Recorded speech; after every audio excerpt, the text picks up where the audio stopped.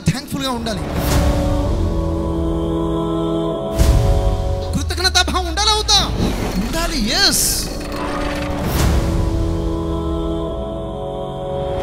ఒకసారి ఏమైందంటే ఒక రాకుమారుడు తన స్నేహితులతో పాటు వెళ్తున్నాడు.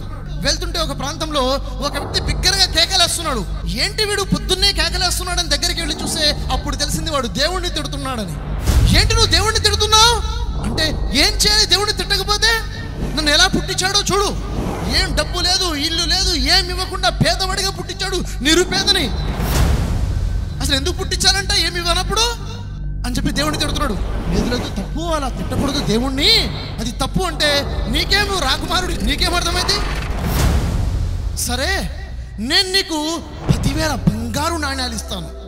వినగానే సంతోషం మొదలైపోయింది. ఒకటా రెండా? పదివేల బంగారు నాణ్యాలు ఇస్తావా? సరే నేను నీకు పదివేల బంగారు నాణ్యాలు ఇస్తాను. కాస్త నువ్వు రెండు కాళ్ళు మోకాళ్ళ దాకా కోసిచ్చేస్తావా అంటాడు. ఏం మాట్లాడుతున్నాను నా రెండు కాళ్ళు కోసిచ్చేయాలా పదివేల బంగారు నాణాలకి ఏం సరిపోవా? ఇరవై వేల బంగారు నాణాలు ఇస్తాను. నువ్వు రెండు చేతులు మోచేతులు దాకా కోసిచ్చేస్తావా? ఏం మాట్లాడుతున్నావు? రెండు చేతులతో ఎలా బతకాలి నేను? సరిపోవా? సరే నీకు యాభై వేల బంగారు నాణాలు ఇస్తాను. నీ నాలుగు కోసిచ్చేస్తావా? నాలుగు కోసేయాలా?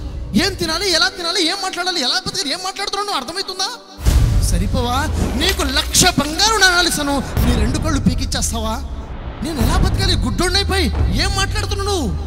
ఇరిటేట్ అయితే పోతుంటాడు అనమాట నేను ఇవ్వనని చెప్పేసి. అంటే దేవుడు నాకు ఏమి ఇవ్వలేదని దేవుడిని తిడుతున్నప్పుడు ఒకసారి ఆలోచించు నీకేమి దేవుడు ఇచ్చాడు. ఈ రోజు నీ దగ్గర ఏముందో?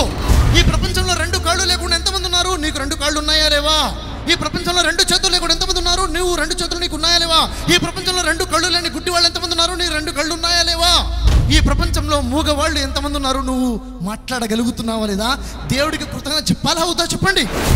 Sir no. కృతజ్ఞత చెప్పాలంటే లక్ష కారణాలు ఉన్నాయి. ఏ రోడ్డు మీద అయితే మీరు నడుచుకుంటూ ఇక్కడికి వచ్చారో అదే రోడ్డు మీద యాక్సిడెంట్ అయి చనిపోయిన వారు లేరా? ఈ రోజు ఈ క్షణంలో చావు బతుకుల మధ్య అనేక మంది కొట్టు ముట్టాడుతున్నారు. మనం ప్రశాంతంగా ఇక్కడ కూర్చున్నామంటే దేవుడికి కృతజ్ఞత చెప్పాలా వద్దా? చెప్పాలి. తోటి వ్యక్తి మీద కృతజ్ఞత భావం ఉండాలి. దేవుడి మీద కృతజ్ఞత భావాన్ని కలిగి ఉండాలి.